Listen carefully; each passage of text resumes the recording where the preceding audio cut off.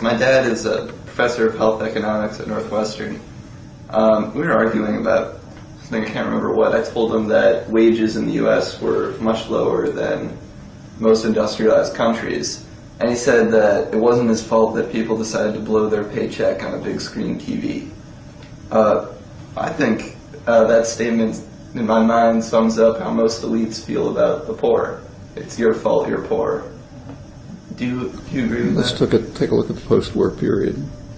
Uh, it's basically economic history of the post-war period. It breaks up roughly into two phases. The first phase was from the end of the war up till the early 70s. That's what many economists call the golden age of capitalism, uh, state capitalism, they should say. It was a period in which uh, there was unprecedented growth uh, and very egalitarian growth. So wages rose. In fact, the, you know, the lowest percentiles of the population did about as well as the upper ones.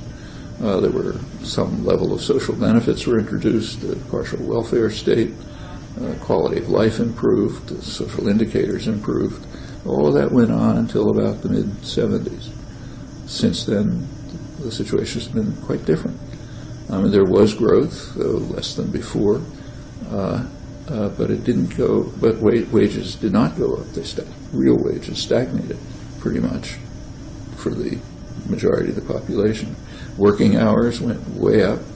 Uh, fa- you had to have two members of a family uh, working just to keep food on the table, uh, forgetting the flat screen television just for necessities.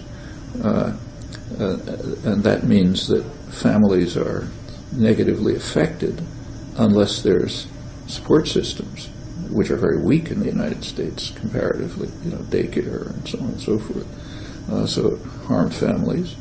Uh, benefits declined, uh, declined, and uh, uh, quality of life indicators declined.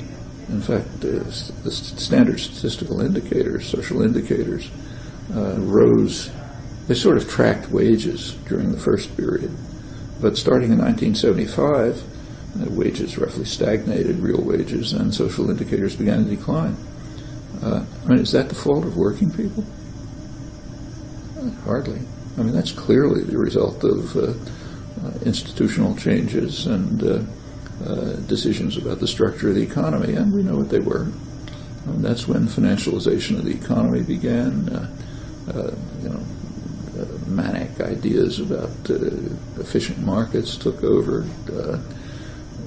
Regulation started being uh, eliminated. Uh, uh, claims about reduction of government began to be popular. I mean, it didn't happen. Like government grew under Reagan, but the claims and and the attacks on you know the start of dismantling welfare state measures went on.